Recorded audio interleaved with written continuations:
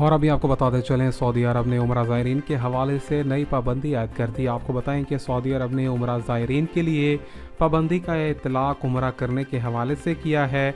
उम्र करने की इजाज़त सिर्फ़ एक मरतबा होगी, इसका इतलाक़ कब से किया जा रहा है और उम्र करने का नया तरीक़ेकार क्या होगा, वो भी आपको बताएँगे। देखने वालों से गुजारिश करेंगे, चैनल को सब्सक्राइब करें और वीडियो को लाइक करें।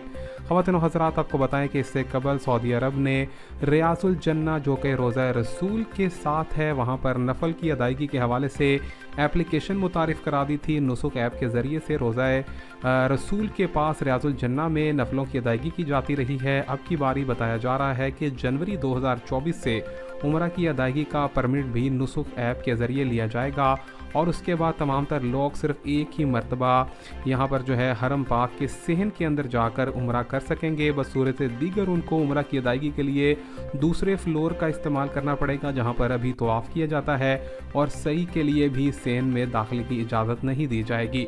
खाना काबा के सेन में दाखिले के लिए आपको सिर्फ़ और सिर्फ़ एप्लीकेशन की इजाज़त दी जाएगी और एप्लीकेशन के ज़रिए आप पैंतालीस दिनों के अंदर अंदर एक मरतबा सहन में दाखिल हो सकेंगे और उम्र की अदायगी कर सकेंगे।